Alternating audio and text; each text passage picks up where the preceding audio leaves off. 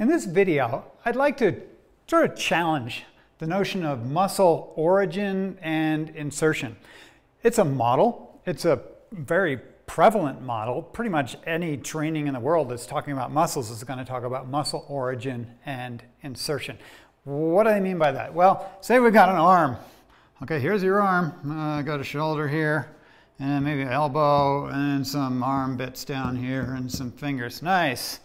Okay, so the origin would reference sort of the starting point of the muscle's leverage here, say, and then say it crosses over the joint and it lands down here somewhere, and we'd call that the insertion, origin and insertion. And that model is applied to virtually every muscle tissue in the body in the musculoskeletal system. Well, what's wrong with that? Well, I know models are supposed to be simplifications, that's important. So it's a good place to start.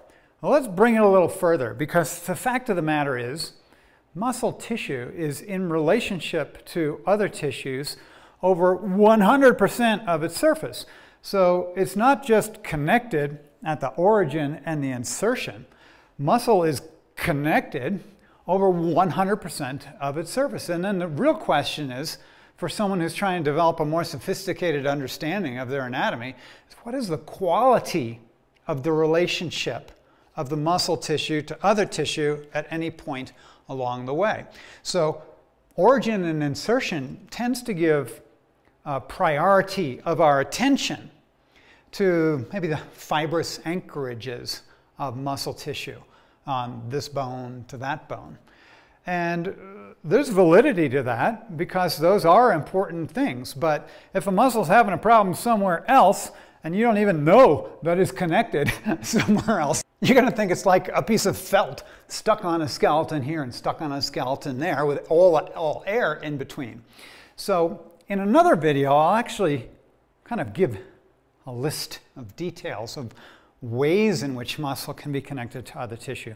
But for now, I just want to say the challenge to the origin and insertion model is that muscle tissue is in fact connected over 100% of its surface, and we would all do well to learn a bit about those qualities of relationship to sort of sophisticate our inventory of uh, relationships and understanding of the muscle tissue. So I'll see you in the next video uh, when I talk about those various uh, types of relationship of muscle tissue to other tissues. Thanks for watching.